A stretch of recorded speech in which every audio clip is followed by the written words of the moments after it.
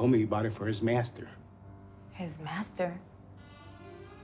Oh, if he asked me, I think he meant the devil. It's it's not it's not easy shooting a film. Promote your absurd conspiracy theories. Now, wait a minute, Mark. Hi, my name is Dagoberto Soto. I am with Structure Productions. This is the third film I've been working with Ricardo Islas. Action. The script was kind of like the old horror films.